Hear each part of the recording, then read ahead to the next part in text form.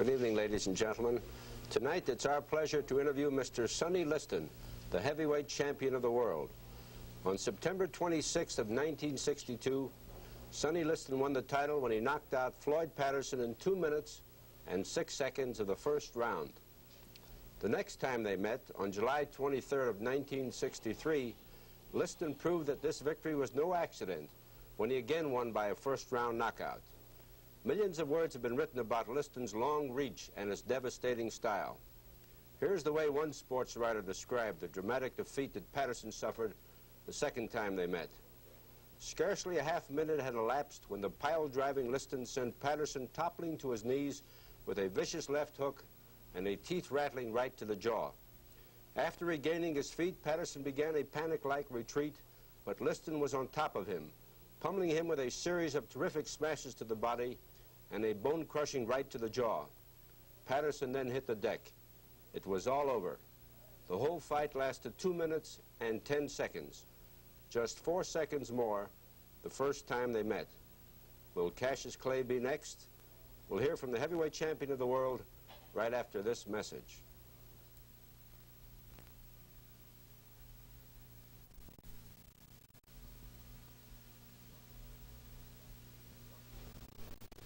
Welcome to our show on the spot, Sonny Liston. We appreciate you coming here for this interview, and as you know, this is the third time we have met before the television cameras. Right. That's once more than me and Patterson met. That's right. I'm glad I didn't meet you under the same circumstances. Sonny, before we actually start talking about Cassius Clay and other questions I have in mind, how about demonstrating before the television viewers uh, some of the physical prowess that you have? Uh, would you put your hand alongside of mine and let's see, boy, my, my hand there is lost. Oh. Tell me, when you uh, when you turn your hand this way, what can you hold without any trouble? I can pick up a basketball. A whole basketball. So a football would be easy or anything along that size. Yeah. What about your reach? Could you demonstrate your reach for us if you want to? You can stand up. I know you've got a seven-foot reach, supposed to be the longest reach in the history of boxing. Yeah. well, that is long. I would think Cassius Clay's reach about the same. Has, has Cassius got a seven-foot reach? Not my, mine might be a little longer than One that. more thing before we get in Cassius Clay. What about doing this? All the boys like to see you do that. That's all muscle, isn't it? Isn't painted. Cassius, uh, I mean, Sonny, what about the fight with you and Cassius Clay? What's going to happen there? Well, I can say one thing. If they get the tickets for the theater two weeks early and go and sit in the movie, and when the fight starts, everybody be going out saying, well, he didn't keep us long, and they've been sitting there two weeks. Well, just interpret that right down the cases. Uh, it can't end before the first round. There has to be something that happens. now, you knocked out uh, Patterson two minutes and six seconds the first time you met, and two minutes and ten seconds the second time you met. Do you think that you'll dispose of Cassius Clay uh, before that? Well, a lot of people talking about, he's talking about, he's done all this talking. I think that he's done this talking to himself to trying to push himself in the ring with, man. Trying to get up to his nerve, huh? but would you care to predict, or do you think the fight will go beyond one round? Well, I can say it won't go over three. Won't go over three. What about all this talking that he's doing, these poems he's reciting? And he has one poem where he says he'll beat you in eight. Do those poems and all this talking disturb you in any way? No, only thing would disturb me is if he'd be around for eight rounds. That's the only thing. Yeah. Is there any real hard feelings between you and Cassius Clay, personally? Well, it doesn't any with me. I may, I know that uh, it would be just like a guy coming in to stick you up. There's no hard feeling between you, but you got something he wants. so, That's a very witty answer. Uh, so Sonny. you couldn't feel mad at the guy. He's probably hard up, but and you would like to keep what he come after. That's right. Do you think all these antics and poems are going to help stimulate the biggest gate in the history of boxing? Is that one good benefit of all his talking? Well, he been uh, been calling them right so far, except one, and uh, everybody thinks that he's got it down pat. He didn't call it right with Doug Jones. No, I mean at the press conference he said uh, he said at first he'll get him in six, then he said get him in four. He said six and four is ten. That's how he justified the fight going the limit. You once said that Cassius Clay should be arrested for impersonating a fighter, which I know is just a wisecrack of yours. Uh, you still feel that way? Well, at the time I couldn't say that because, it, you know, anytime two heavyweights meet, anything could happen. I mean, but I think I'm the best man, and I think that I'm going to prove to the public that he should be arrested. At least I'm going to try. Well, now, in proving that, uh, Sonny, uh, I presume you're going to take this fight as serious as any fight you've ever had. You're going to go into serious training for it? Well, I'm going to take this serious if I was fighting Joe Louis in his prime. What are your plans for training? When do you go into heavy training for this fight? Well, two days after Christmas. December the 27th. Uh, do you know where the fight will be held? It sounds like it's going to be held in Las Vegas. Well, I just told Jack Nilon that whenever the price is right, it could be at Cassius Clay's house as long as the price is right. You soon walk in there with two television cameras if the price is right, huh? How much of a gate do you think the fight will actually draw, counting receipts from television, people at ringside, and motion picture rights? Well, that's where a fighter loses a lot of fights. He worry about what's the gate going to draw and not keeping his mind on the fighting. So what's the never draw, that's, I guess I'll get my share.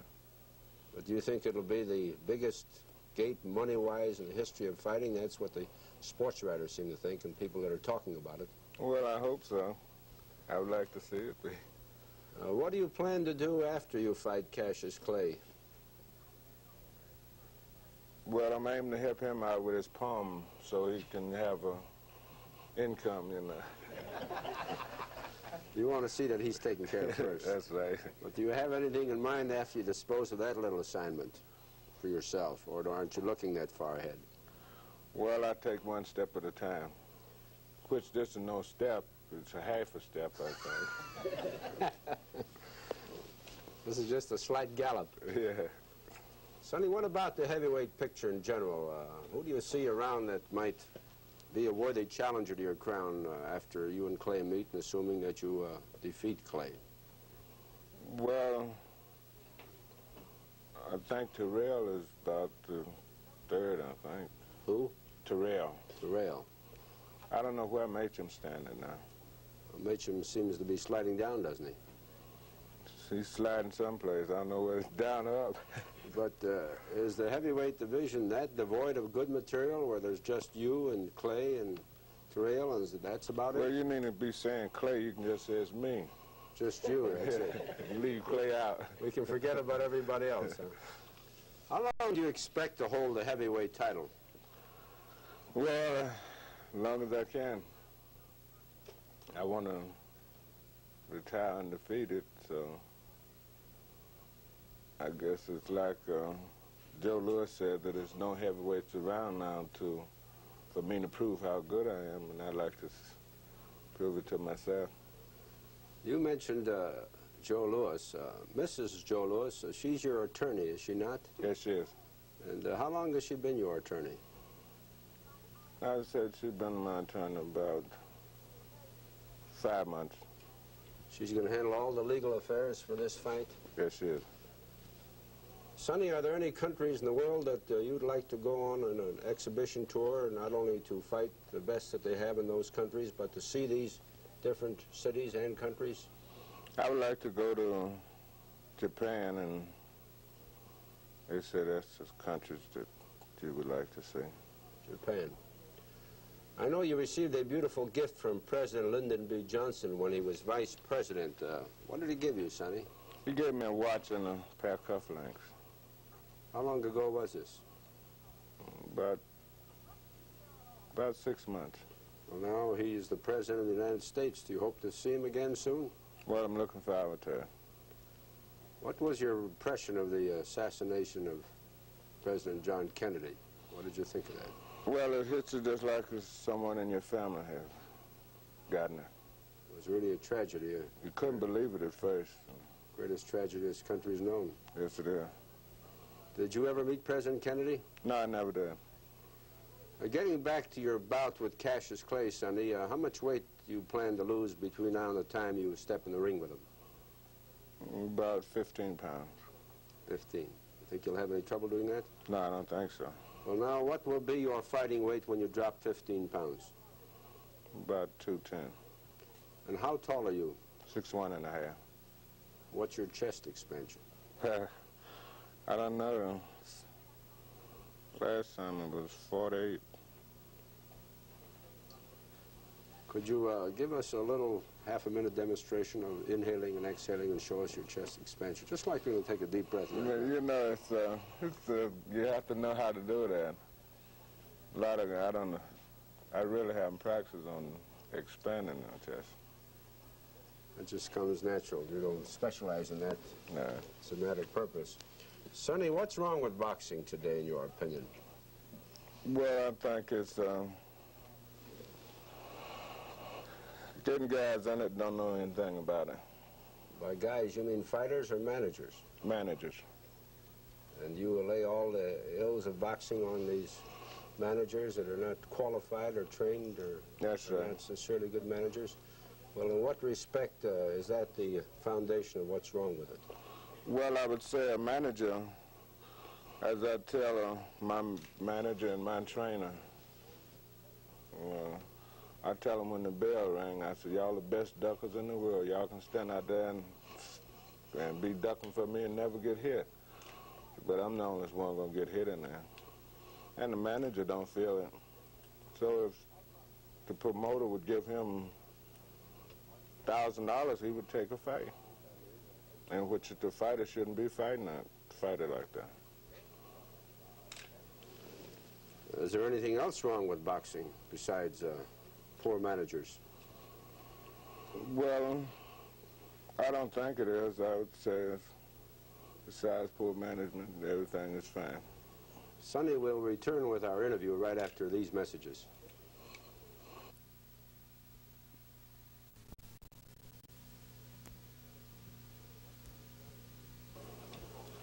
Sonny, what can be done to cut down deaths in the ring? There was a wave of publicity in the press of this country over the last six or eight months in which uh, that was pointed up, that it seemed that in recent years more fighters died in the ring than, than people expected. Well, I would say uh, different, like light heavyweights fighting heavyweights and uh, welterweights fighting middleweights. They're stepping out of their class because uh, each class gets more money than the lightweights and things like that. And they would do this to get more money. Sonny, we all know that the best fighter is a hungry fighter. Do you think that's one of the things wrong with boxing, that the, the prosperity of this country is reduced, the opportunity and the desire of many people are forcing to become fighters? Well, I couldn't say. I don't think the fighter. Like now, if you take my record, I was brought up the right way. When I fought Folley here, I was number two, and uh, he was he was number two, so they made me fight him, and then they put him in my spot. I would just say, for instance, if I lose to Cassius Clay, I should be number one and then fight the number two guy. Then if he beat me, just going back down the steps. There's been a lot of mismatching, is what you're saying. Right. Sonny, how long ago was it when you first sensed that you would become the heavyweight champion of the world? In your own mind. Well, when I felt it, when I uh, fought Cleveland Williams in Miami, How long ago was that? about five years. Now, how did that fight end? Was it a knockout for you? Yes, well, What round? third round. Third round. Now, what made you think when you were through with that fight five years ago that you were the next champion? Well, the way he could hit and he punched hard, and after the the fight, we went back in the dressing room, and all the reporters came in and said, "Now we believe you can take it." is, uh, Well, did that surprise you? It must have. Did you then say to yourself, well, here I've met one of the heaviest fighters of my time, and I've knocked him out, and that give you the confidence to make you feel you would be the champion of the world? Is that what went through your mind? yes, it did. And then I looked at his record, and he had a string of knockouts. Before I fought him, I told, and then I said to myself, I said, oh, these nothing but setups. And after the first round, and I went back to my corner, and uh, I told my trainer, I said, they wasn't setups. I said, he knocked these guys out. so he said, you got to get in close on him. I said, either that, we got to get out of here. because this guy is really something. So and I moved in close on him, and I won the fight in the third round with the knockout. Whom do you consider to be the toughest fighter you've ever met in all the years you've been in the ring? Well, I would say Cleveland Williams, and uh, I imagine you see the Fuller fight. I think Fuller's fight was one of my best fights. What was your easiest fight? a lot of people think they're all easy, but they're not. They don't know what we have to go through to get in shape to win them fights in the first round. What are some of the things you have to go through? Well, you have to get up 5 o'clock in the morning, run about five or six miles, come back and go to bed, and, and get up there and go to the gym, do about 12 or 13 rounds of boxing and training, you know, hitting a heavy bag. A lot of preparation. In your two fights with Floyd Patterson, before that bell rang, because the bout didn't even reach the second round, did you feel in your own mind each time you were going to finish him in the first round? Yes, I did. In the second fight, I didn't think so because I felt that he was going to try to run. Well, did you feel that once you came close enough to connect that you'd finish him? Yes, I did. Is that because you feel that your punch is so powerful that he can't take it, or is it a combination of the two? Well, I feel that I can, anybody I hit, I can knock him out. You think Cassius Clay may get on his bicycle with you? I don't think he knows how. You don't think he can pedal a bicycle? no. You think he's going to try? Well, uh, if he gets on his bike, I'm going to get on a motor scooter. That's it. You're going to race him, huh? Maybe Cassius Clay will be listening to the show. Uh, Sonny, is there anything that annoys you about being the heavyweight champion of the world? Anything that bothers you about it? Well, not in, not anything bothers me yet. Are you happy with the way you're being treated by the press? Yeah, as long as they spell the name right. What about the public? You happy with the way the public is treating you and so forth? Yes, I am. Um, I remember Joe Louis told me he fought uh, some guy in Philadelphia. Then after the fight, he drove down the streets and they throw rotten eggs and rock, rocks and things at the car. I said, now, if anybody do that to a champ like he was, you can look for him to do the same for me. So it's somebody always not going to like you. I don't care how great you are. What about a fellow who has in mind entering the ring as a profession, Sonny? What would you tell him? Well, I would say that he have to live by have to live by the rules and cooperate by them, and he'd come out on top. It's all in the knowing how to live. What's the most important thing a fighter should have to be a success? Should he have a fighting heart or a heavy punch? Of course, he needs them both, but if he had only one or the other, which does he need most? Well, it's, it's hard to say about the heart. You know, a lot of fighters got a lot of heart, and uh, I guess you have to have a little skill with it, too. Getting back to that comment you made about managers a few moments ago in this broadcast, in which you said uh, a good deal of the fault that lies with the boxing today are poor managers. Uh, and you indicated some of the managers would just sell the fighter out for $1,000, I think you said, or whatever the amount is. Is that uh, more common today than it has been in the last 10 years prior to this? Well, excuse me, I couldn't say because uh, when I was in St. Louis, I had this manager, and uh, Johnny Summerlin, he was from Detroit, and we was driving up to Detroit to fight, so I didn't know who I was going to fight. And so we gets almost there. I says, who's fighting the main event? And then he tells me, you are. That's the first you heard of it. Yeah. And then after we get up there and I beat him, he picks up the paper the next day. They want to know was Summerlin offer, was I just that good? It was supposed to have been a, I supposed to have been, I guess, a duck for him or something. So and they rematched us. And then I beat him easily the second time because I know what I had to go up against. And then I did the first time.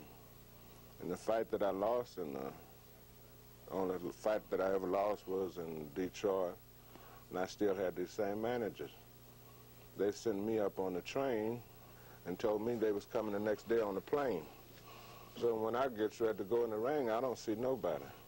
I had to go down inside the ring and just get me somebody to go in the corner and take my mouthpiece out.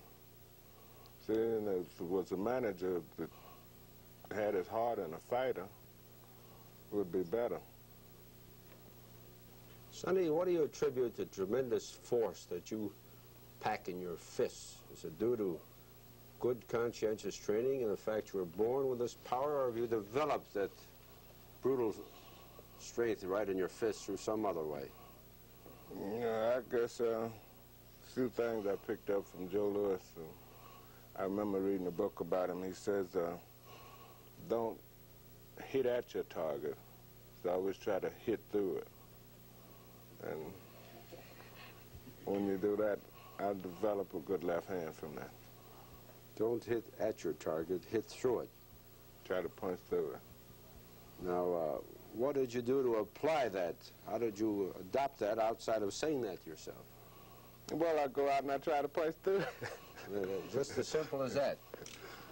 Well, you're able to go right through them. In fact, uh, that seems to be the common practice with you now. Uh, Sonny, uh, when we leave this broadcast, what are you going to do as far as light training is concerned? Well, I do road work and uh, exercise to get my body in shape for the day. Who are some of your idols in, in boxing? You certainly must have someone that you'd like to follow or someone that you've honored in your own mind as a great fighter? I would say Joe Louis. Did you ever see Joe Louis fight as a champion? Well, I see the movies, not in real life. What's the first heavyweight bout you ever witnessed outside of your own? I think it was in the... You never saw any? I never saw Braddock fight or Schmeling, or that's even before your time, isn't it? Yeah. And uh, you never saw anybody fight in the early 50s as a heavyweight champion? Well, uh, it was a Charles. Ezzard Charles. And uh, what went through your mind the night you saw him? Did you picture yourself standing there holding the crown someday yourself? Well, no, I never gave it a thought then. What about Jersey Joe Walcott? You ever see him fight? Not in real life. Uh, he was remarkable in one respect. It seems he never had a bruise or a scar or any mark of a fighter. Isn't that true? Yeah, well, I guess that's, and he rode the back all the time. Sonny, our time is about up. Is there anything you'd like to tell our viewers just before we formally sign off? Well, it's always a great pleasure to come on your program. Thank you, Sonny. It's a double pleasure for me, and I'm really delighted that you let me interview you. And I know this is the third time that we've met, not in the ring. Thank you very much, Mr. Sonny Liston, the heavyweight champion of the world, for giving us such frank and straightforward answers. You've lost none of your wit, and beyond that, I'm sure you haven't lost your punch. Good luck to you in your forthcoming bout with Cassius Clay, and may the best man win. Thank you. We'll be back after this message.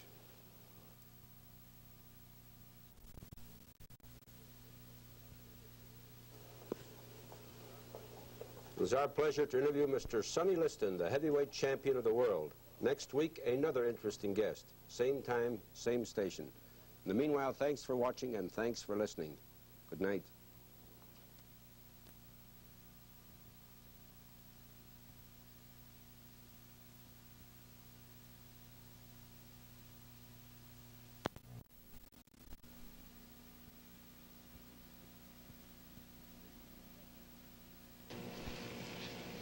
Evening, ladies and gentlemen. 16 Russian churchmen are visiting the United States as the guests of the National Council of Churches. Their first stop is in Denver, where they are guest observers at the midwinter business sessions of the National Council's Policymaking General Board. These Russian clergymen are here as part of an exchange agreement and in reciprocation of a visit made by a delegation of the National Council of Churches to Russia a year ago. The head of the visiting Russian delegation is in our studios. He is the Archbishop of Yaroslavl and Rostov, a member of the Holy Synod of the Russian Orthodox Church, and president of the Department of External Church Affairs of the Moscow Patriarchate. Serving as an interpreter for this interview will be Dr. Paul Anderson, who lived in Russia two years. Dr. Anderson, active in the YMCA movement throughout the world, is a consultant with the National Council of Churches on relations with the Eastern Orthodox churches in Eastern Europe. Archbishop Nikodim, a young man, has had a brilliant career. His given name was Boris Rotov. He became a monk at the age of 17. In 1957 to 1959, he headed a Russian church mission to Israel. In 1961, he performed a similar function in New Delhi, India. We shall hear from Archbishop Nikodim after this message.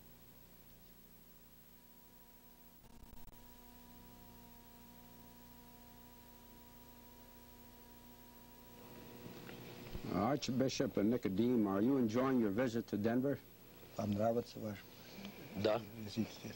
Yes, Денвер очень уютный город, Denver is a very nice city. и м, Денверский совет церквей нас гостеприимно встречает. And the Denver Council of Churches has given us very fine hospitality. У Денвера очень хорошее расположение. The Denver is very well located. Соединение степей и гор. They're combining the prairie and the mountains. Это очень красиво. Makes it very beautiful. Fine. Uh, Archbishop Nicodim, how old are you? Сколько вам лет? Мне 34 год. I'm going on to 34. Uh, what motivated you to embark upon a religious career? Почему вы вступили на религиозную карьеру? Призвание быть служителем Церкви Христовой у меня появилось еще в детские годы. The calling came to me to become a servant of the Church of the Lord когда мне было 14-15 лет, я уже чувствовал потребность быть служителем церкви Христовой. И когда мне было 17 лет, я стал служителем церкви. В городе Ярославле, где я теперь архиепископ, покойный архиепископ Дмитрий рукоположил меня в диакона и постриг в монахи. И с тех пор вот я совершаю там свое служение. In, in the city of Yaroslav, where the late Bishop Dmitri uh, ga- took me in as a monk, and there I am now the the archbishop. Are there, are there any members or are there members of the clergy that belong to the Communist Party? Является там члены духовенства, кто Тоже члены коммунистической партии. Нет, э- этого быть не может. Потому что член коммунистической партии по уставу этой партии должен быть атеистом. No, because according to the, the statutes of the Communist Party, every member must be an ath- atheist. И член клира, естественно, служитель, проповедник всей своей жизнью и словом и делом Слово Божие Господа нашего Иисуса Христа.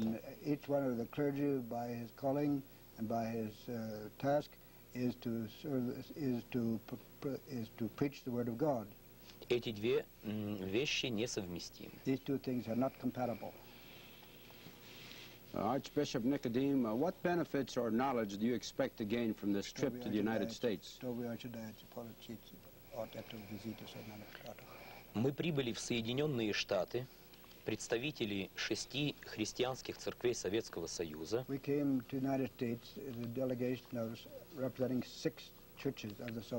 С визитом к Национальному Совету Церквей Христа Соединенных Штатов Америки.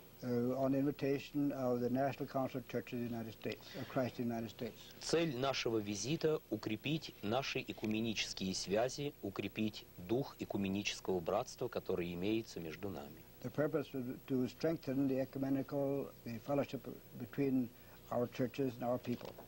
И церкви, члены Национального совета церквей Христа Соединенных Штатов, и все церкви, представленные в нашей делегации, являются членами Всемирного совета церквей. Uh, the churches represented um, by our delegation and the churches of the National Council of Churches, А у- are members of the World Council of Churches. А участвуя во Всемирном Совете Церквей, участвуя в экуменическом движении, мы стараемся приблизить то время, которое заповедано нам самим Господом Иисусом Христом.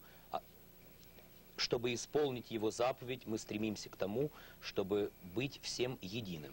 And in uh, our work in the World Council of Churches, both they and we, from the Soviet Union and here, we try to carry out the call, the, the, the request of our Lord that uh, in the end all should be one. В экуменическом движении мы стараемся достичь единства веры, единства жизни и действий. In the ecumenical movement, we try to find Церковной unity жизни, both конечно. in our faith and in our life of Uh, action. May I ask this question of uh, Your Grace? Uh, how can the church survive, or is it difficult for the church to survive when the government has so many restrictions on religion in Russia? Как вы всяко разве там столько препятствий к исполнению религии в Советском Союзе? М, Обычно, когда задают этот вопрос, Uh, which uh, usually when that question is put, то м, в, эт- в этом случае смешиваются два понятия. Two, two concepts are mixed up. В нашей стране коммунистическая партия ведет идеологическую борьбу со всякой религией. In our country, the Communist Party conducts uh, active anti-religious propaganda. Но, но правительство не ведет никаких административных мер борьбы ни с какой религией. But the government, as distinct from the party, does not conduct any administrative struggle against religion. Премьер нашего правительства Никита Сергеевич Хрущев неоднократно говорил, The, for example, uh, the Prime Minister, the Premier in the Soviet Union, Nikita Khrushchev, Khrushchev has several times said что как секретарь Центрального комитета коммунистической партии он атеист, that as a member of the Communist Party of the Soviet Union, he is an atheist. но как премьер правительства он обязан защищать и защищает права верующих граждан. But as the head of the government, the premier of the government, he is obliged by the Constitution to maintain the Constitution, see that it is carried out. И за исполнением законов о свободе религиозного исповедания в нашей стране And in the carrying out of the constitutional provision, provision for freedom of religious confession in our country, специальный правительственный орган Совет по делам Русской Православной Церкви и другой такой же орган Совет по делам религиозных культов при Совете Министров СССР следит there, there are two organs established by the government, one on the Council on the Affairs of the Russian Orthodox Church, another on the Council of Religions, and their business is to follow the, ex- the fulfillment of the laws. И если местные органы власти могут позволить себе когда-то какое-то отклонение от нормы закона, то из центра их поправляют в таких And if, случаях. if locally any or, organ of the state should exceed its propriet, propriety in the carrying out of laws, then this central body would take the necessary measures. Uh, may I ask the Archbishop this question? Are Sunday school classes permitted in Russia? Могут ли в Советском Союзе иметь воскресные школьные классы? Нет, религиозных школ у нас нет. No, we do not have religious schools. Но м, мы имеем по закону свободу отправления религиозного культа.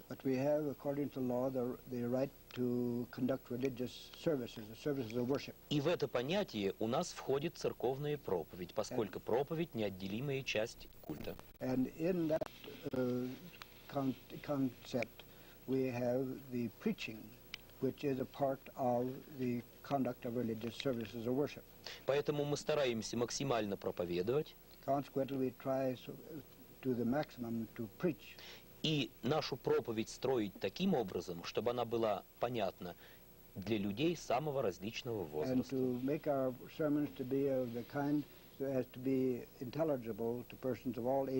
И мы можем видеть результат такой проповеди, что миллионы верующих людей наполняют наши храмы. fill our churches. Oh, Your Grace, may I ask you this question? Since young men and young women are taught to be atheists in schools, and uh, you want to just say that? to.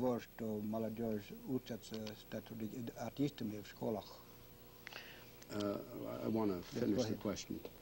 And atheism, of course, is uh, contrary to a belief in God. Isn't it difficult for Archbishop Nicodemus and others of the clergy to instill a feeling of religion in the young Russian boy or girl?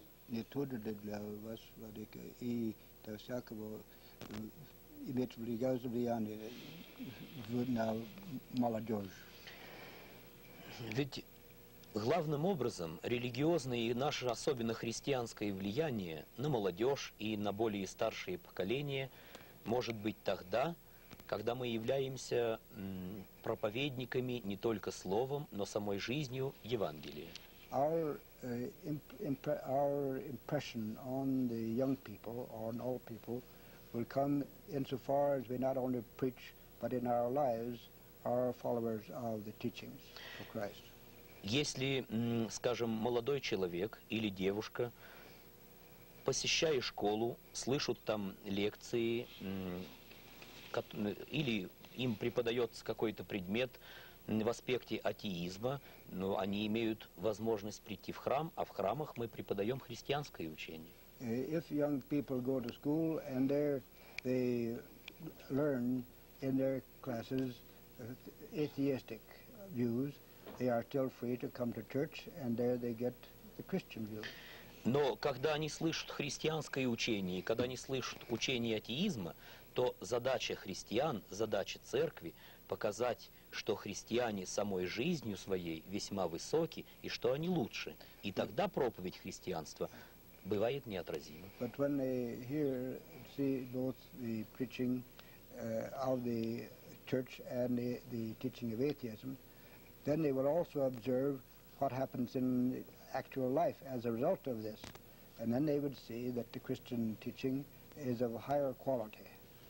Archbishop Nikodim will return to this interview right after this message.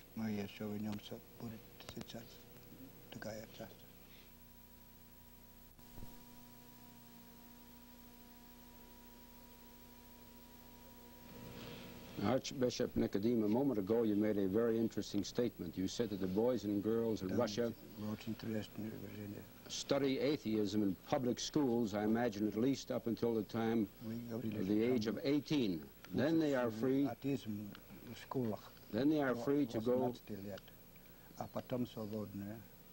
Then they are free to go to church and visit the clergyman and make comparisons. Now, if these young boys and girls from the time of birth are taught to believe there is no God, not to believe in God, what do they ask you when they come to church after 18 years of life without God? Если они там э, учатся только атеизма, а потом к вам, какие вопросы они ставят вам? Что вы, э, какой общий язык вы видите с ними? Да, но меня господин немножко не понял. Reply. Когда наши девочки, мальчики, молодые люди, девушки учатся в школе, то они имеют полную возможность посещать храмы. Uh, even while they are studying in school, they can also go to churches. It isn't after the age of 18, in see. other words. И посещение храмов у нас не начинается с 18-летнего возраста. Это неправильно. Going to church does not begin at the age of 18. А родители могут приводить своих детей в, шко- м, в церковь, и сами молодые люди, если имеют желание до 18-летнего Parents- возраста, имеют полную возможность посещать церковь. Parents can bring their children, or young people can come of their own. Let me ask him this. Forgetting the age of 18, when a boy will say is a confirmed atheist, then he goes to church for the first time, what are some of the questions he Хорошо. poses? Э, не- не- Независимо от возраста. Какие вопросы ставит молодежь? Ну, то, что их интересует. Вопросы религиозные, вопросы, вопросы бытия Божия. И все, что связано с христианским учением. Все это их интересует, и на все эти вопросы наше духовенство старается прежде всего предусмотреть все эти вопросы и дать на них ответы, прежде чем они будут поставлены. А когда они бывают поставлены, то на них дается исчерпывающий ответ. So that when they are put, then they are able to give them help on them. А вообще в отношении посещения храма, то у нас можно наблюдать такую картину. Лет до 12 Uh, as regards uh, attendance at church services, uh, this is perhaps a picture. Up to the age of 12, до 12-13 м, дети много посещают храм. 10 or 12 or 13, quite a Большое количество детей посещает храм. Затем становится их меньше и меньше. И уже, скажем, после 18-летнего возраста, когда начинается увлечение техникой, спортом и так далее, до 30-летнего возраста молодежи уже не так много посещает храм. Активно. 18, uh, say up to the age of 30, when they get more and more taken up with sport and uh, technical things and business, you do, then they don't have so many. А- активно уже немного посещает храм, но после 30-летнего возраста и дальше с повышением воз- э, возраста уже больше и больше людей приходит в храмы. But then after the age of 30, you'll find them returning again, and more and more people return to the church. May I ask Your Grace this question? This is a question and a statement by a famous That's about- columnist. Э, Вопрос, который содержится в э, некий, в том, что написал некий известный колумнист. Well, now I'll read this, and you want to interpret it as I read I've it? already read it, so that Oh, Roscoe Drummond, one of America's most respected columnists, said last month, and I quote, The facts leak out in bits and pieces, but is increasingly evident понемножку выходит по данным that Premier Khrushchev fears the power of religious conviction more than any other threat to communist rule.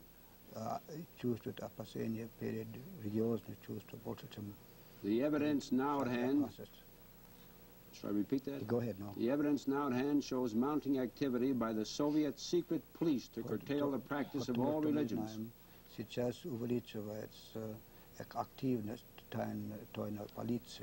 Despite the fact despite the fact that the Soviet Constitution guarantees freedom of religious and anti-religious propaganda. What is your reaction to this statement? Несмотря на то, что Советская Конституция э, позволяет и религиозной, и антирелигиозной пропаганды. Что вы Ну, об этом говорите? с мнением этого писателя я не согласен, I'm not quite in accord with what the writer has said. потому что наше общество единое, И верующие, и неверующие, какие составляют наше общество, имеют одни права.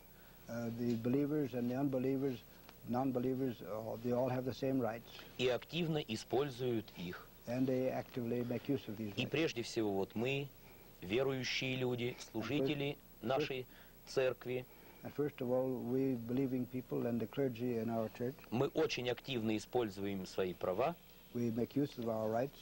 И используем их таким образом, что Церковь Христова в нашей стране не является умирающей.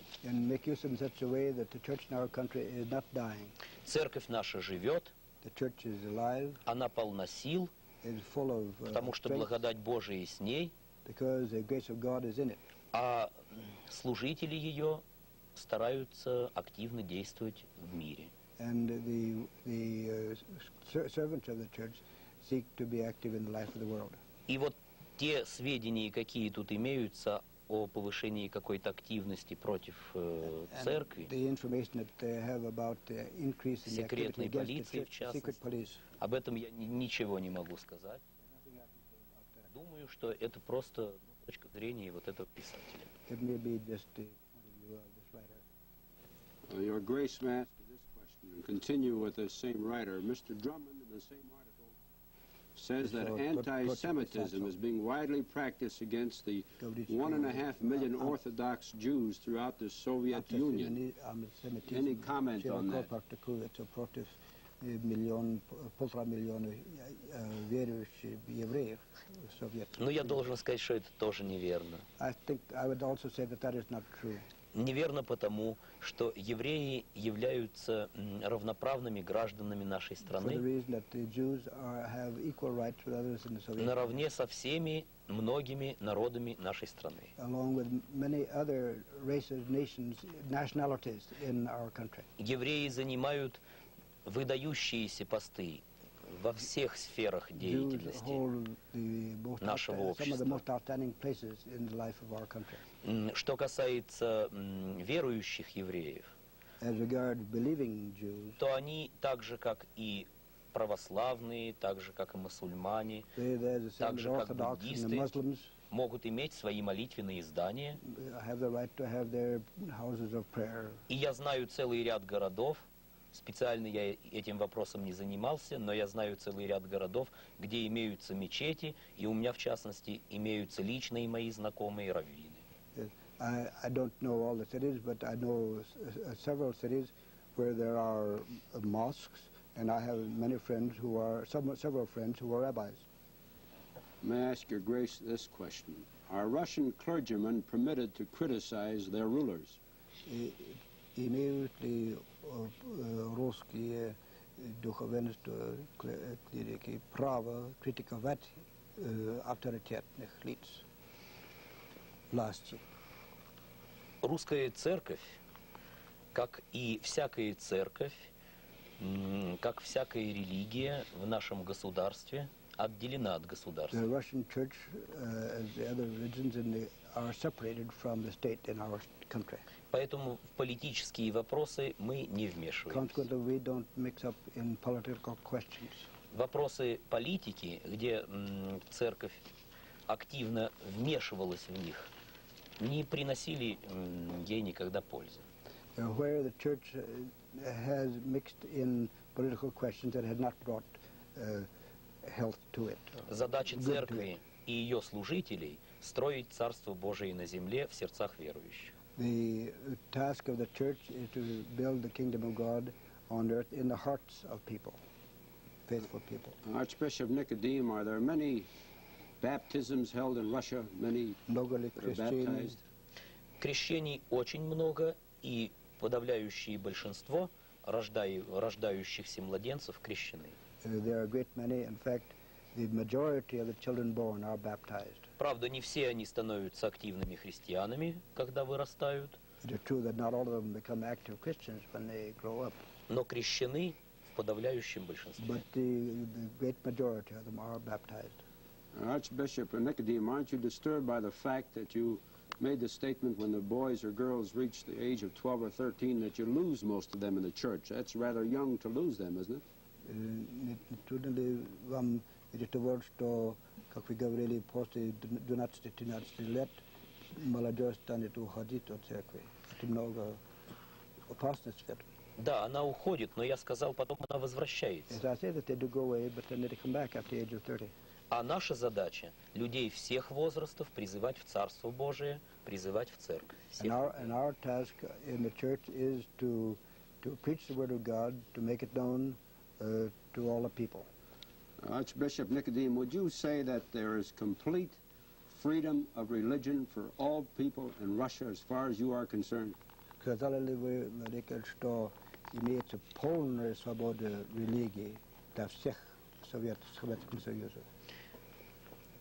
Я считаю, что мы имеем все возможное, все нам необходимое для того, чтобы нормально функционировали наши церкви, I should say that we have everything that is necessary in order that our churches may fu- function normally, чтобы они совершали свое служение that they conduct their services и свидетельство в мире. and their witness in the world. I'm sorry that uh, we have to conclude this interview, Archbishop Nicodemus. Uh, we have many, many more questions we'd like to ask you. We appreciate your coming here. I know that our viewers found your answers, comments, and impressions to be most interesting. We hope you enjoy your stay in the United States. And thanks to Dr. Paul Anderson for being interpreter for this interview, and I'll be back after this message.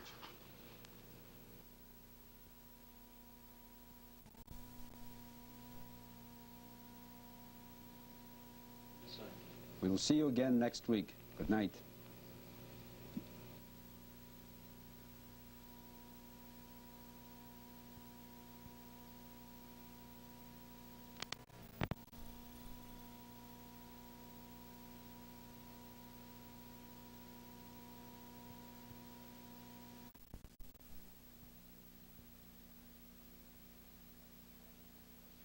Good evening, ladies and gentlemen.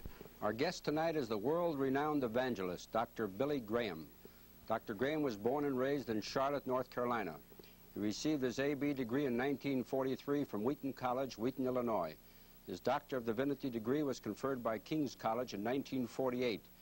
He was also awarded an LLD degree from Houghton College, Houghton, New York in 1950. Billy Graham is married and the father of five children. His career as an evangelist, begun in 1946, has made his name a household word throughout the world. He has spoken to more than 29 million people in his crusades, which have carried him to every corner of the globe. Not since the days of Billy Sunday has an American evangelist captured the hearts of so many, many people.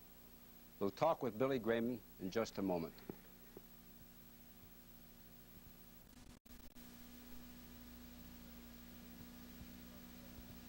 Welcome to our show, Billy Graham. Thank you, sir. It's a great privilege to be here. Thank you for inviting me. Well, thank you, and thank you for accepting, and it's a great honor for us to have you here.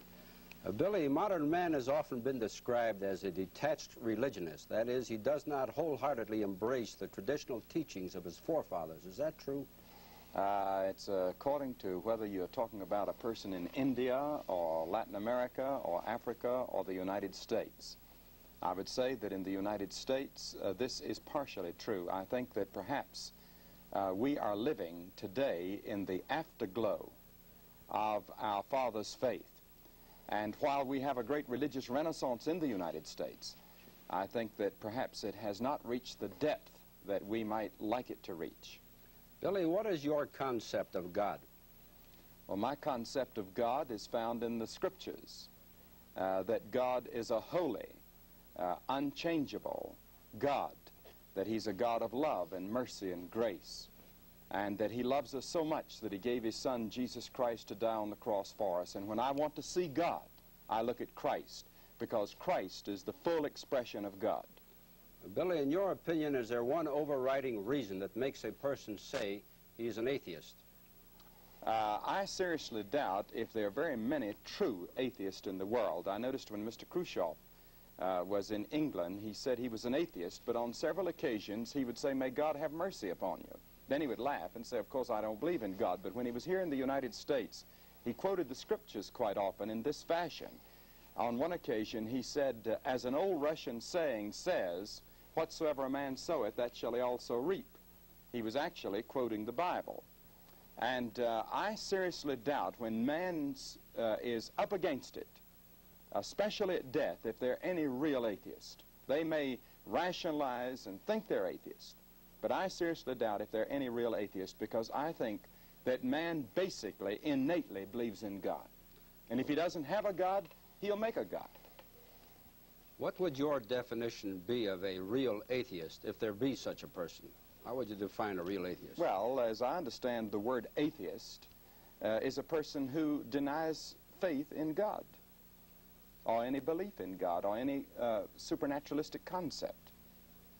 Now, the person who says he's an atheist and denies faith in God, to use your phrase, he also, if he's a true atheist, denies the existence of God. Is that true? If he's a true atheist, uh, that would be implied, yes.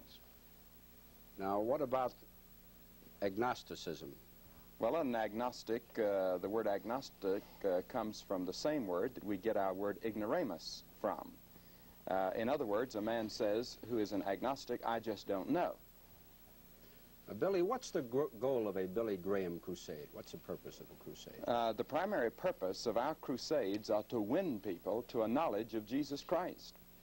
In other words, to get men to commit themselves to Christ. Uh, this brings about conversion. And our objective is to get men converted. Christ said, except you be converted and become as little children, you cannot see the kingdom of heaven. Now, we, uh, uh, psychiatry and psychology is now coming to the point that they're saying that man needs a conversion experience. Of course, they're talking about on a psychological level.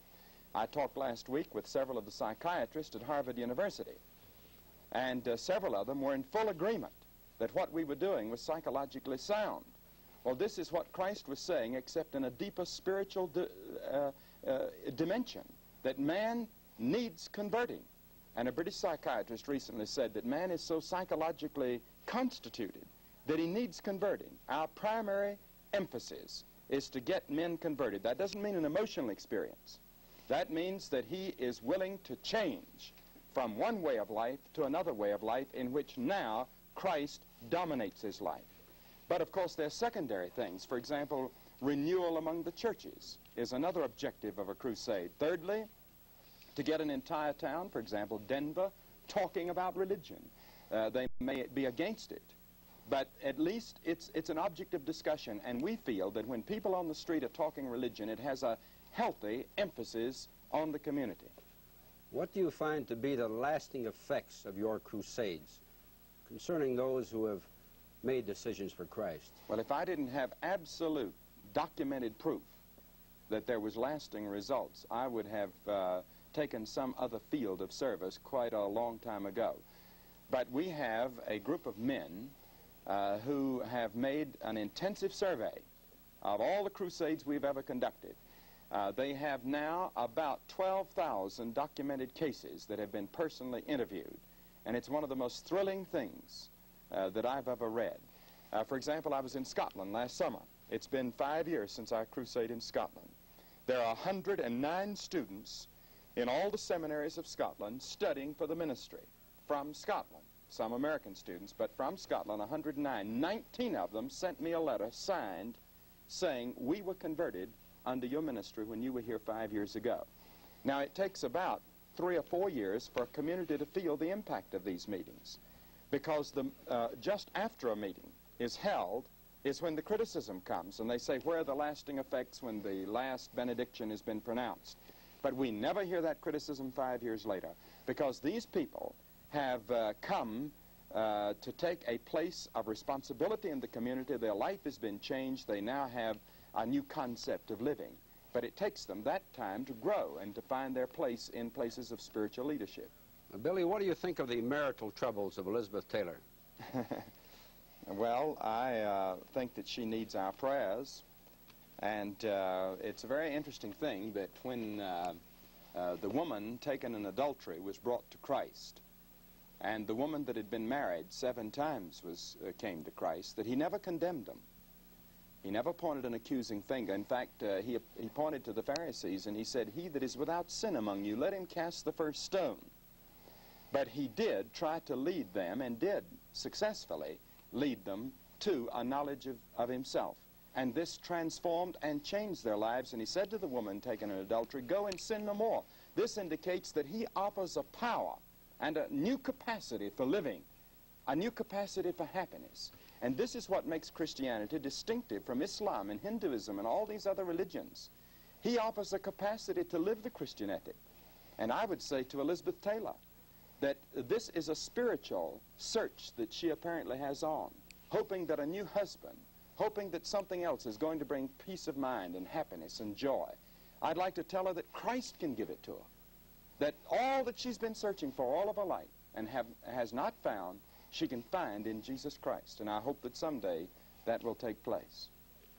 Well, pursuing that subject a bit further, do you think the wave of publicity about Elizabeth Taylor will in any way affect the morals or standards of the youth of this country? I suspect that uh, there's a, that many people are getting a bit disgusted with it all, and it may have uh, the reverse reaction than perhaps we might think. But I would like to say that the emphasis that we have placed upon sex goddesses in this country, in my opinion, is an indication of the decadence uh, that we have at work in this country that it, to me is very frightening. Well, now this emphasis on sex goddesses that you just mentioned, would you put the blame mainly on Hollywood and the motion picture producers I directors? think it's, uh, no, I think it's a combination of everything. I think we as the American public are, are just as responsible because this apparently is what we're eating up. Uh, whether it be in films or whether it be in the press or whether it be in our magazines, they couldn't stay in business if they were not patronized. And if you want to uh, pack a, a, a, movie house today, put adults only on it. And so Then I would say running. it's a combination. And I think that it is, of course, uh, a, a satanic attack upon the morals of this country. I don't think that this country can possibly exist if the moral strength is eaten out. I think this book uh, entitled uh, Every War Save One, which is an, uh, um, uh, the Army's uh, psychological analysis of the American prisoners of war, is one of the most revealing thing that happened in Korea. And uh, the, uh, this frightens our military uh, leaders today. Well, this moral decadence you speak of, uh, when did you When do you think it first began to flourish in this country? Is it 10 years old, 50 years old? Well, it old? first began to flourish with Adam and Eve. Well, when did it reach its present uh, heights in our time? Uh, I think perhaps that man's heart has always been the same since the days of Adam and Eve. We are always sinful. But uh, in recent years, because of mass media of communication, uh, because of population increase, uh, and uh, uh, all of these other factors have entered into making this, I think, uh, on a, a national scale such as we've never known before. But I think our hearts have been sinful all along, and we need redemption, and this is why Christ came. And this is what Holy Week is all about. Billy Louis Cassels has written an interesting magazine article entitled The Rightist Crisis in Our Churches, in which he says a tide of disunity is sweeping the church, with extreme rightists performing a disservice in the name of being militantly anti-communist. What is your reaction to that statement? Well, I uh, read the article, and Louis Cassels is a great friend of mine. Uh, but uh, I am not a member of any rightist group or left-wing group for that matter. I simply call myself a Christian trying to follow Christ, and I have not allowed labels to be attached to me. Uh, I, I uh, would not want to comment further because uh, this is in a political area, and uh, I have never felt that, uh, that God wanted me uh, to lead an anti-communist crusade. I believe my job is to preach the gospel and to live the gospel, and at this point I agree with Bishop Fulton Sheen.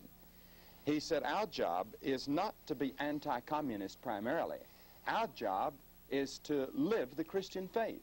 And I agree with Bishop Sheen at this point. I think he's quoted uh, in this particular article. What would you say is the greatest strength of Christianity today? Well, the greatest strength of Christianity today is the Bible. Because without the Bible, we would have no knowledge of Jesus Christ. And we would not have a full revelation of God.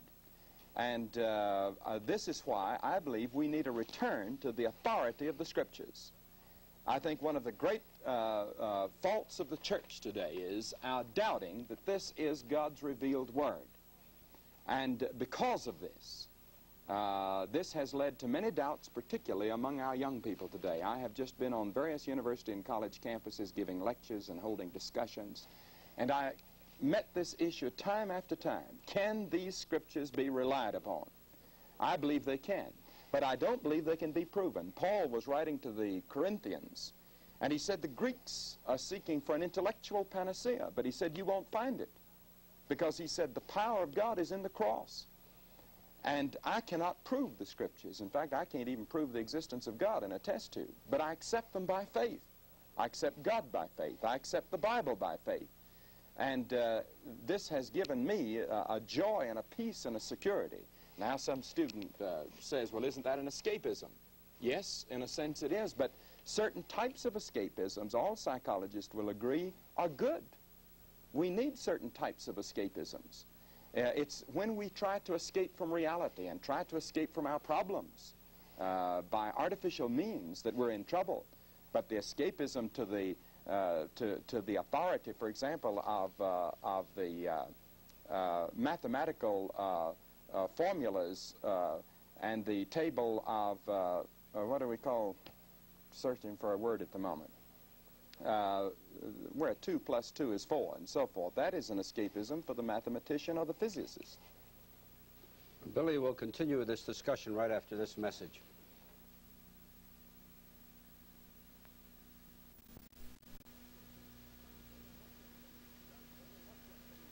Billy, what's your opinion of the John Birch Society? Well, I do not know that I have ever met a member of the John Birch Society. Perhaps I have, but I don't know that I have. And uh, uh, while some of the people, I'm sure, are very sincere people, I certainly cannot agree uh, with the positions that have been taken by the president or the founder, Mr. Welch, uh, of the John Birch Society. I think when you begin calling uh, President Eisenhower and people of that sort uh, as uh, insincere or perhaps even giving them the connotation of being uh, communist sympathizers, I think this is all wrong. I have had the privilege of knowing Mr. Eisenhower and some of those that have been named, and I know their sincere dedication uh, to this country. Billy, each person himself can't speak for everyone, but this is probably true. Each person himself who follows a particular religion faithfully believes that his religion is the one true religion. What is your reaction to that? Uh, that is not altogether true. Uh, I think if uh, you uh, talk to people of other religions, they're not quite as definite. Buddha said at the end of his life, for example, I'm still searching for truth.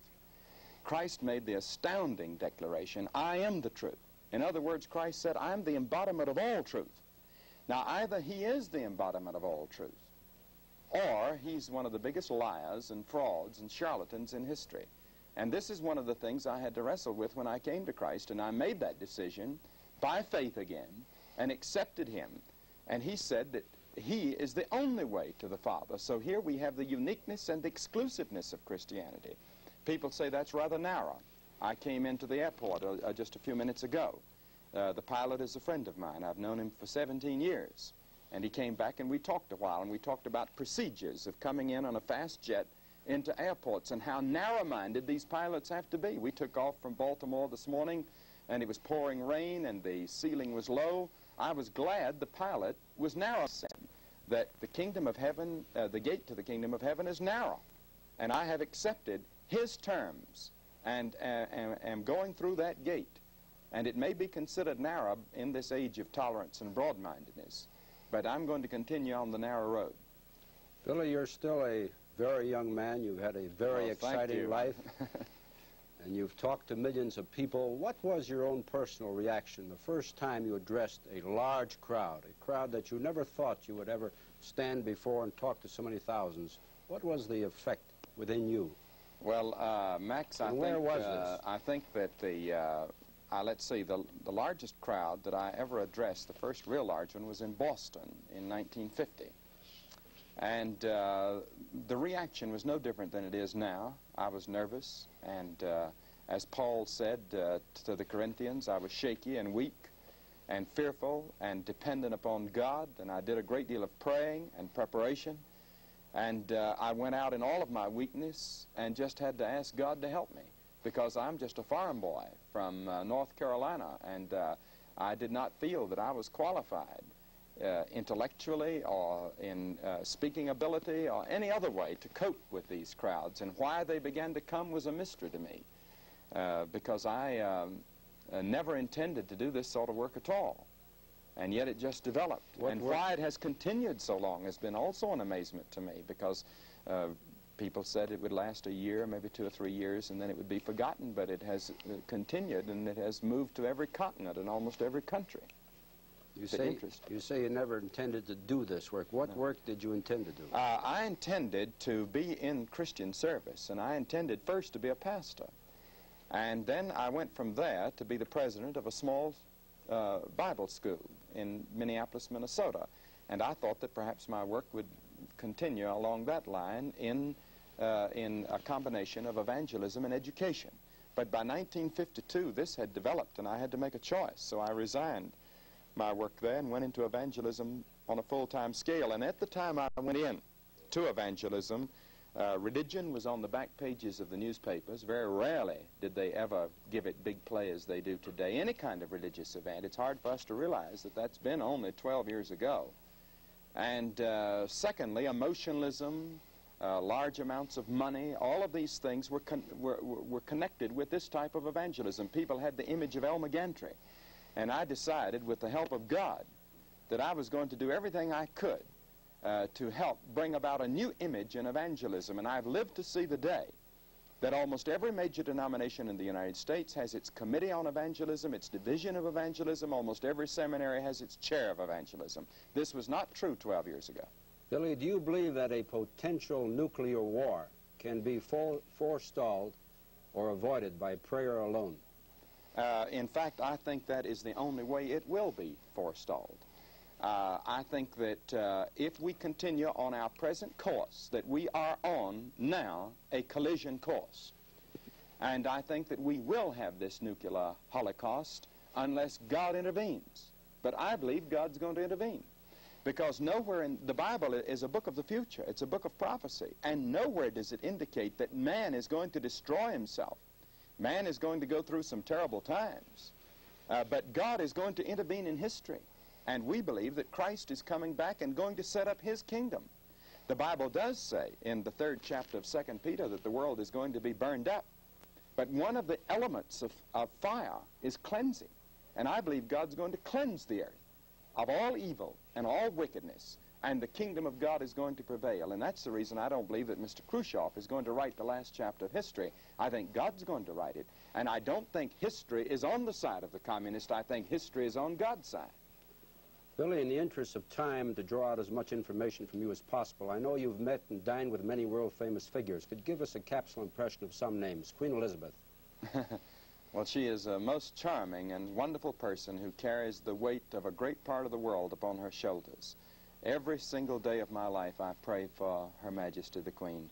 Winston Churchill. Uh, when I had the privilege of uh, meeting Mr. Churchill, I had the impression of a man at the end of life who was Mr. History himself, but still at the end of life searching for some very basic spiritual truths. Dwight D. Eisenhower.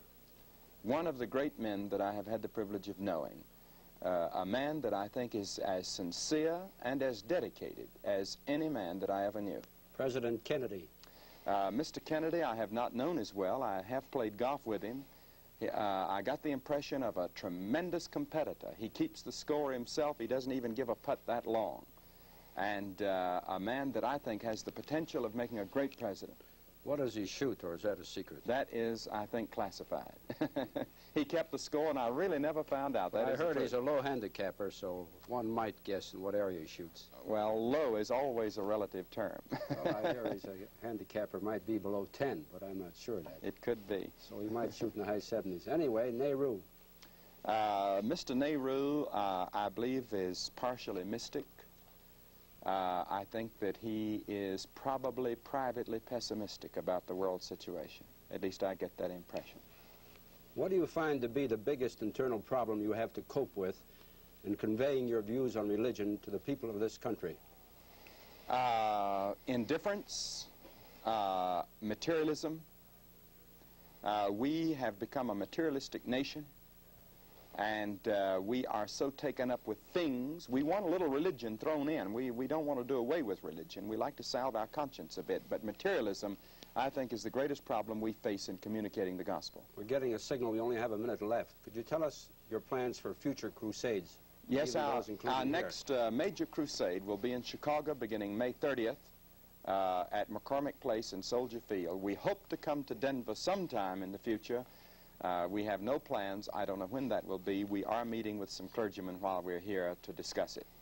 Well, thank you very much, Dr. Billy Graham, for coming here and favoring us with your presence for this interview. You didn't appear nervous to us or shaking or any of those other qualities you mentioned. You look calm and magnetic.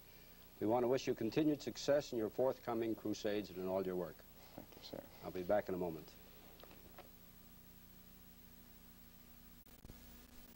Doctor. We want to thank Mr. David Hood, Mr. Stan Mooneyham, and Mr. Ed Erickson and other evangelical leaders for making this interview possible. Our guest tonight was the world-famous Billy Graham, renowned evangelist. We'll see you again next week at the same time on this station.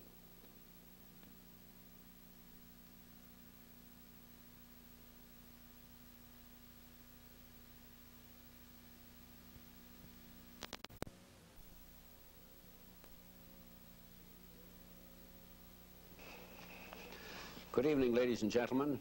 Tonight the tables are going to be turned. You'll notice I'm sitting in a different seat tonight, occupying the chair where our guest usually sits. In my seat is the man who's going to conduct the interview, my sponsor, Mr. Gordon Roberts, president of Stearns Dairy, which sells all of its products directly to the home.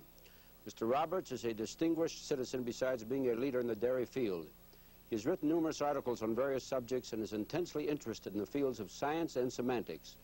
He belongs to a number of community organizations and has received several major awards for his contributions to civic betterment. This August, there will be a General Semantics Conference on the West Coast in which it is hoped that countries from both sides of the Iron Curtain will be represented, particularly to discuss the same words that have different meanings in different countries. It will be the first such conference ever held. Mr. Roberts has been invited to attend this conference as a member of the Board of Trustees of the Institute of General Semantics. When it comes to making a person think, probe, analyze, and respond, There are few things in the world which can cause as much mental stimulation as participating in a session of semantics. We also want to take this opportunity to thank Mr. Roberts for sponsoring us over such a long period and for making these programs possible. Our interview will start right after this message.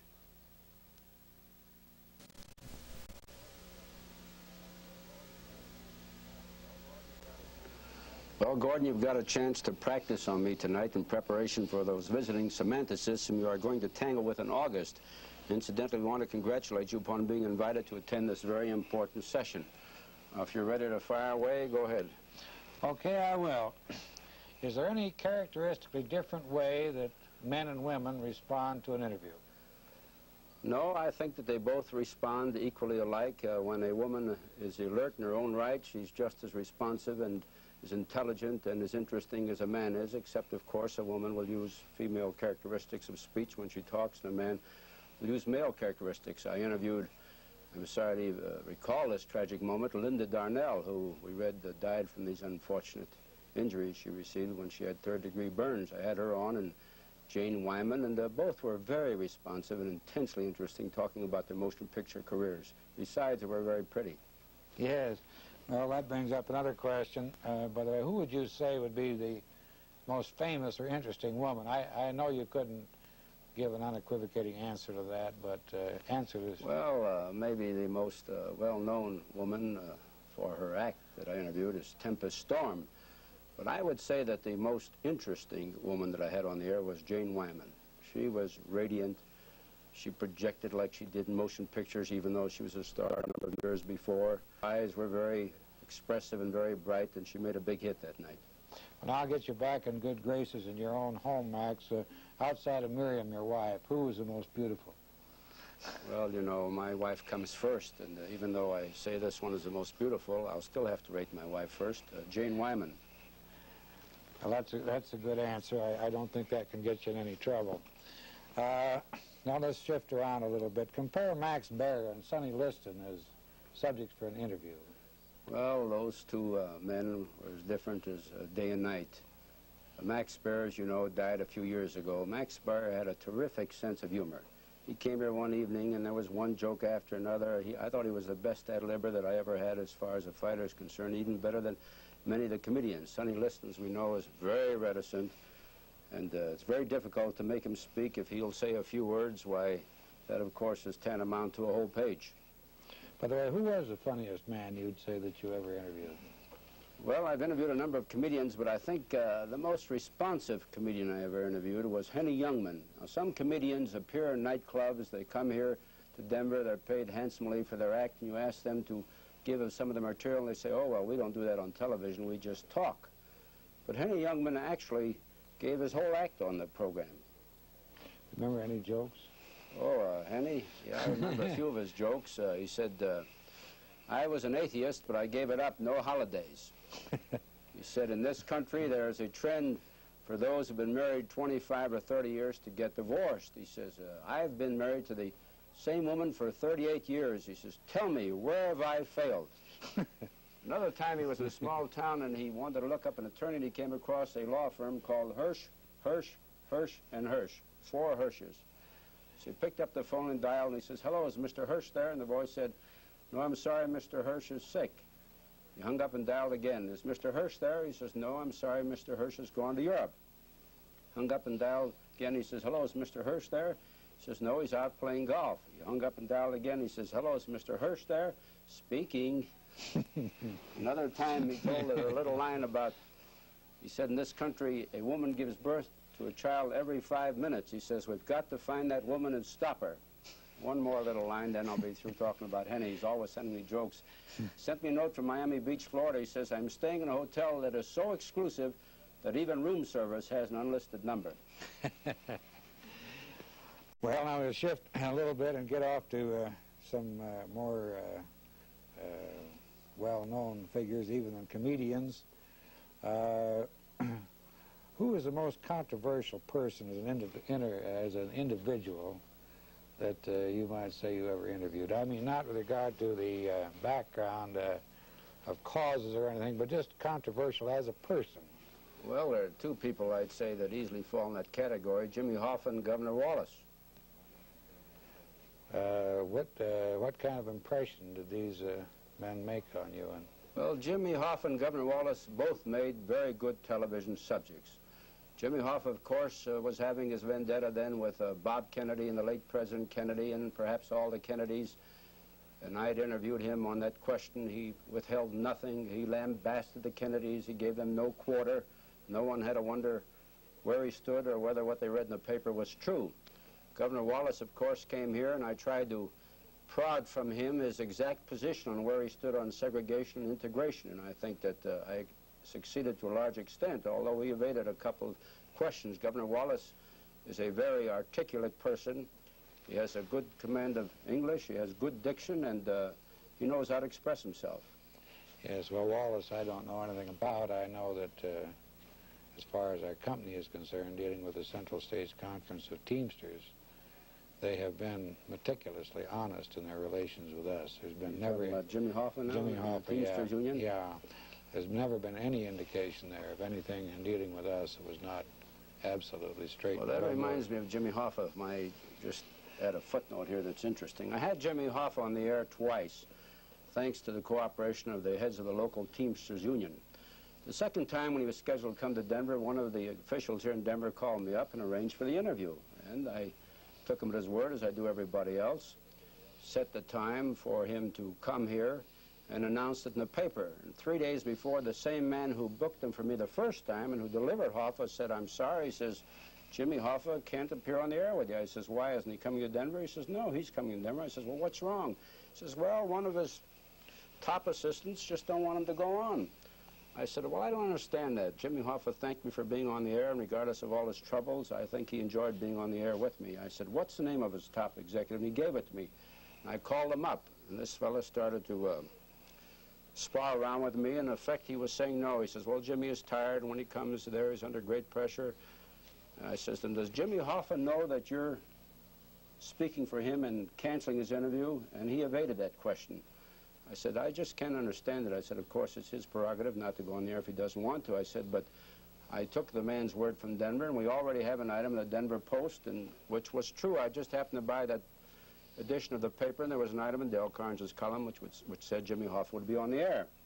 And I told him about it. He says, will you read that again, please? And I read it to him. He said, it's in the Denver Post? I says, yes, it is. He says, well, he says, maybe he can go on the air, and thanks to Del Carnes, who's given me a lot of plugs, uh, he may not even know this, that he was responsible for my second date with Jimmy Hoffa. Otherwise, I wouldn't have had him on. Isn't he the one that gave us a plug on regard to this show? Who was that in the in the uh, in the paper that? Uh, Del Carnes, yes, he Yes. gave us a plug the other oh, we day. ought I to give, we ought to, the we ought to give him a plug at this point, should we not? happy to reciprocate. All right. Uh, whom would you classify as the most uh, famous personage, uh, from your point of view, that you've ever interviewed? Well, there's no question that the most famous person I interviewed was the late President John F. Kennedy, the late, great, revered president. If I may take a moment or two to recall the drama that surrounded that broadcast, uh, I'd like to do that. Is that all right with you? certainly, certainly, it's uh, Well, you're was the one that's doing. You're the you're the sponsor. Well, it was you in 1960, Gordon. No, you're very, very nice. It was in 1960, and I think it was in April, and we had a heavy snow on the ground that night. And I was scheduled to uh, meet him here about 9.30. I was on the air 10.30 that night. I came in the studios at 9 o'clock, all excited, with great anticipation to meet John Kennedy, who then was a candidate for president. That was the year he was nominated, and he was hot on the road seeking the nomination, trying to wrap up delegates all over the United States. Well, 9.30 came, and the switchboard operator said to me, there's a call for you. And I answered the call, and it's long distance, and a voice said, are you Max Goldberg? I said, yes. You're supposed to have John Kennedy on the air tonight? And I said to myself, oh, that's the end. Here it is, 9.30 and long distance. I said, that's right. He says, well, uh, John Kennedy is in Cheyenne right now, which, of course, made me perspire. I says, well, he said, well, we'll be there in time. We got an hour yet. I says, you're in Cheyenne now? I says, when you leaving? He says, right now. And I says, is it snowing in Cheyenne? He says, yes. I says, there's an awful blizzard here. He says, don't worry about it. We hung up, and I thanked him, and uh, I never thought he'd show. Sure enough, at 10 after 10, four men come trooping in the doors of KLZ TV, John Kennedy, John Dolan, Pierre Salinger, and Byron White. And they were as nonchalant as though they just came from across the street where they had a cup of coffee. And I was all out of breath, panting and waiting, and I said, uh, how did you get here so quick? Uh, they said, why, uh, we just got here. I said, I don't understand it. Uh, what time did your plane land at Stapleton Airport? The uh, ground is covered with snow and ice. They said, oh, about 10 minutes ago. I said, how did you get down here in 10 minutes? He said, well, we got down here. Anyway, we all exchanged pleasantries, and the interview began. And before the interview was about eight or nine minutes old, the president himself injected the Catholic issue. I can't remember just how he got around to it, but he himself brought it up and spent most of the time on this question. And I think that this was one of the first shows in America in which the Catholic question, which became perhaps the major campaign issue, was analyzed on this program. When the show was over, uh, Pierre Salinger says, uh, that was a good interview. He said, uh, very fine, very fine. I says, who are you? He says, Pierre Salinger. Well, that didn't mean anything to me then because Pierre was completely unknown. And it's ironic that uh, this late great president of ours, about whom so much has been written and will go down in history and who's idolized by the world over, is now uh, in his eternal resting place. And the other three men, Byron White, is on the Supreme Court of the United States. Pierre Salinger was his press secretary and LBJ's press secretary and was just defeated for the U.S. Senate. And Joe Dolan, who was first assistant to Attorney General Bob Kennedy, is now the administrative assistant to U.S. Senator Robert Kennedy. Of course, that was a very memorable time for me and something that I will never, never forget. The president was magnetic, handsome, his eyes sparkled, his voice was resonant. You could just see that here was a man who was going places, even though at that time the election was still months away. Now, not comparing this man with the president, although in many ways he can be compared to him in an entirely different field. Another great man was Billy Graham, the great evangelist. Billy Graham was on the show, and he was extremely accommodating and extremely responsive. I've corresponded with Billy a few times, not lately, and I think when he comes to Denver, he's going to hold a crusade here this August, I believe. I think he'll go on the air again with me. We're getting a signal now, uh, Gordon, and we'll be right back with the questions and answers right after this message.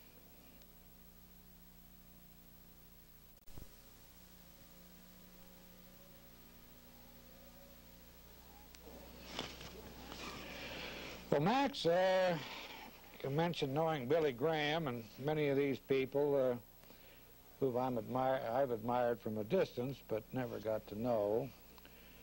Of all these famous people, uh, whom have you known the longest of anyone you've ever interviewed? Well, there's no question that uh, I think this is indisputable. The person I've probably known the longest is Jack Dempsey. I met Jack Dempsey in 1928 in Salt Lake City. Now, my brother, who was not a professional fighter only for perhaps a few months and who only weighed about 105 pounds, I don't know whether that's bantamweight or paperweight, he and Jack Dempsey grew up together, and Jack used to use him for timing.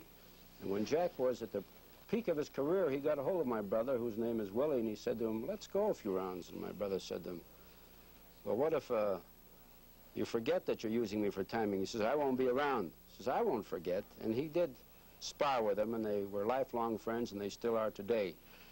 Well, across from my brother's business in Salt Lake City, I saw a huge crowd one day, and I says to my brother Willie, I said, what's that crowd over there? He said, well, Jack Dempsey's across the street. I said, Jack Dempsey? My heart was pounding and palpitating. I was dying to meet him. I says, uh, do you know Jack? I didn't know that time how well I knew him. He says, sure I know him. I says, will you take me over to meet him? He says, certainly. Walked across the street, gave him a big warm greeting, and I met Jack then. And uh, we've had many wonderful experiences together. It would take a long, long time. One time in 1931, after I left Salt Lake City, I went to Los Angeles. I was dying to go to San Francisco. I'd never been there, and I read in the paper that Jack Dempsey was stopping at the Barbara Hotel, which he owned then, that he was going to San Francisco. So I called up Jack, and I said, Jack, I said, this is Max, and he knew me, and uh, he was very friendly. I said, uh, I read you're going to San Francisco. He says, yes. He says, do you want to come along? I says, are you kidding? He says, no. He says, meet me tomorrow morning at 6 o'clock. And that's all he said and hung up. I didn't know whether he meant it, he was serious, or he was just joking, but I couldn't sleep all night. 5 o'clock in the morning, I was there pacing up and down in front of the Barbara Hotel. Sure enough, at 6, a long Cadillac drove up that the fans of Toledo, Ohio had given him an appreciation of him winning the title July 4th, 1919 in Toledo. And he says, hello, drop it. He says, come on in, just as though everything were set. And I went in the car and I sat in the back seat. There were about 20 suitcases. There were only two people in the car, Dempsey and myself. We drove all the way to San Francisco, and as we were driving, we'd pass a certain spot. He'd say, uh, there's where Mabel Normand lives. There's where Will Rogers lives. There's Malibu Beach. Pointed out all the sites like a guide. About 70 miles from San Francisco, he says, uh, you don't have a hat on, do you? I said, no. He says, you better get a hat. He said, uh, San Francisco, uh, they like you better if you wear hats. He says, I don't have a hat either. He says, we'll stop and we'll buy a hat. So we stopped at an haberdashery store and we walked in and the, the clerk's chins dropped when Jack walked in there and they waited on him hand and foot. And Jack was extremely liberal in those days. I think the two hats cost about $10. They were much cheaper than they are today, and he gave the fellow $50. He said, keep the change.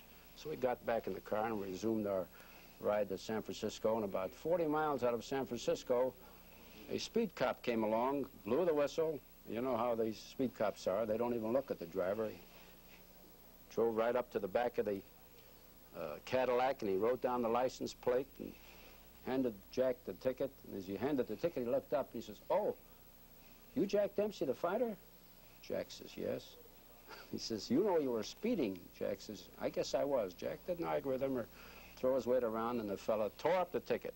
He says, well, Jack, he says, the um, captains are watching us, he says, and there's a big drive on for safety. Watch yourself. And so we kept going, and this Cadillac was the kind of a car that could just roll along at 70 miles an hour. You'd think you were going 20. 15 miles out of San Francisco, the same thing happened. He got another ticket. It was practically a repeat of the first conversation. He didn't deny it and tore up the ticket. I just saw Jack here last week and had a nice visit uh, at Eddie Bones Pig and Whistle, and I interviewed Jack on tape for an hour. And so those are some of the highlights of my memories with Jack Dempsey, who's a great, great guy. Well, those are wonderful memories to have. I wish I had some of those. Uh, those are wonderful things to think back about. And I know that you, uh, you've had many experiences of this kind, and many people envy you. I know I do personally. Thank you. Incidentally, speaking of professional men outside of uh, boxing or fighting, who would you say was the most uh, colorful professional man that you ever met? You mean in the field of politics or any field Any, outside any- of anything that might be described as a professional Well, I man. think, uh, Doctor, lawyer, merchant. I think one of the uh, most colorful men that I have met that I got a tremendous bang out of was Senator Wayne Morse. Senator Wayne Morse I would nominate as the most outspoken guest I've ever interviewed, and there isn't even a close second. He sat down with me one night, and I didn't know the senator too well, and any question I asked him, he had the answer immediately. And once he said there, he says, you know, Max, he says, uh, I've made a lot of enemies in the Senate, and he said, uh, but I don't care. He said, if all the senators would say on the floor of the Senate what they say in the confines of the committee rooms, we'd have a much better government. And that remark was uh, caused right after he practically lacerated President Eisenhower when we discussed him, who was President of the United States at the time, and Senator Wayne Morse was in violent disagree with, disagreement with him on several issues. Uh, I think Senator Wayne Morse has the unique distinction of the only senator who ever lived who changed parties while he was in the Senate and still managed to stay in the Senate and be elected by both parties. I might be wrong, but I don't think anyone else has ever accomplished that. I think there was a senator from Nebraska way back that did that same thing. And changed and was Yeah. reelected? I'm not sure whether he was reelected or Well. I could be wrong, but uh, This there can't be more than one or two in the history of this whole country. No, it's very, it's very unique. I know that, and I'm probably talking uh, out of turn on this.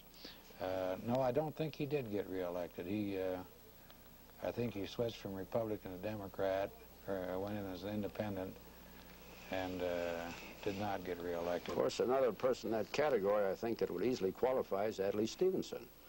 Adlai Stevenson, the great wit and the great Mm-hmm. public speaker and uh, one of the most learned men in the history of this country.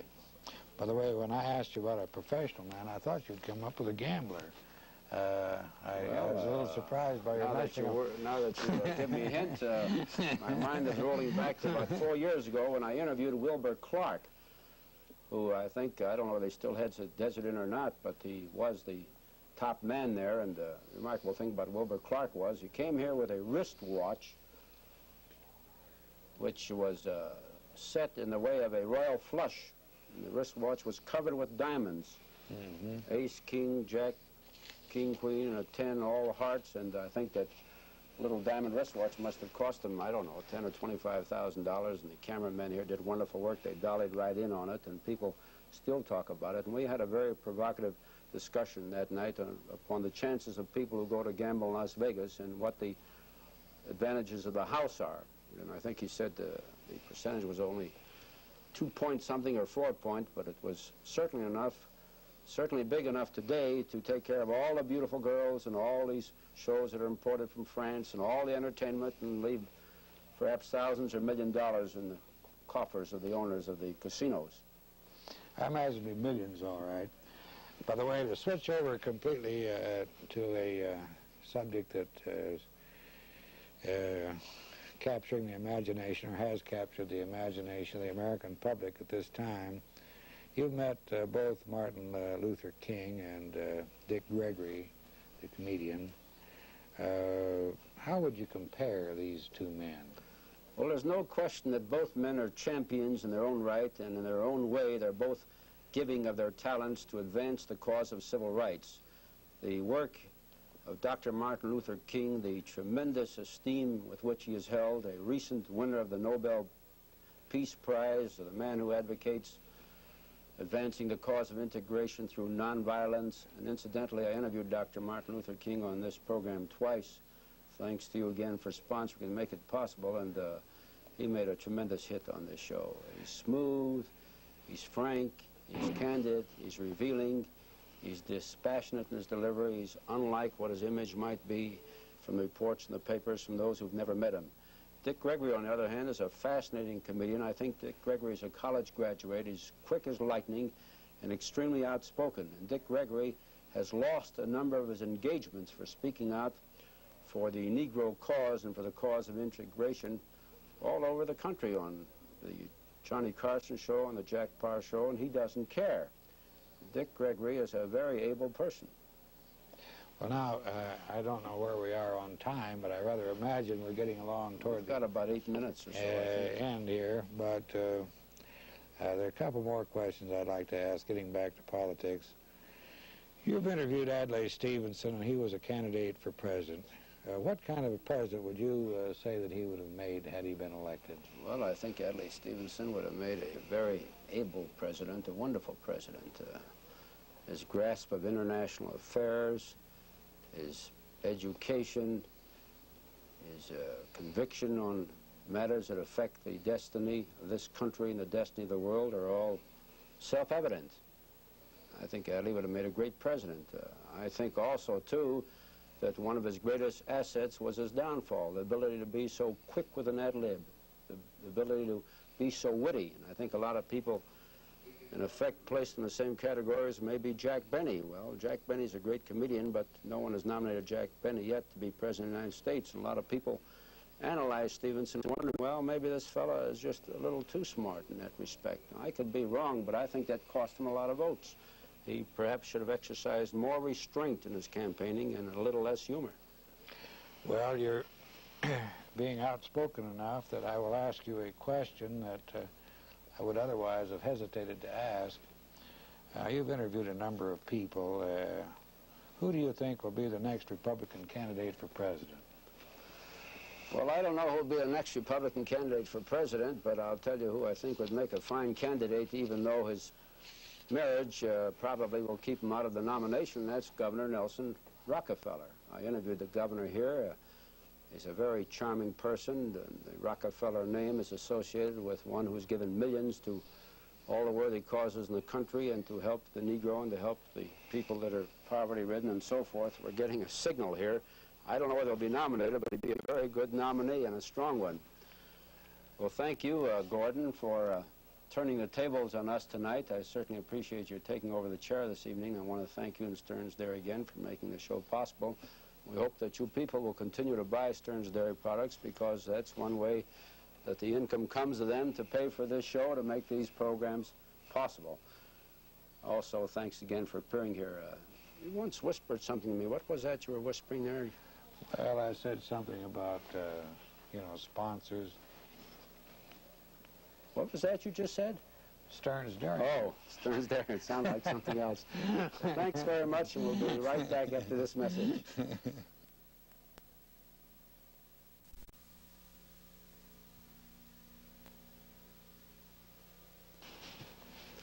Thanks again to you, Mr. Gordon Roberts. I really appreciate it. Next week, another interesting guest. You want to say something? Go ahead. No, no, no, no. I thought we were all done. Well, we just got a few seconds. Next week, another interesting guest, same time, same station. meanwhile, thanks for watching and thanks for listening. Good night.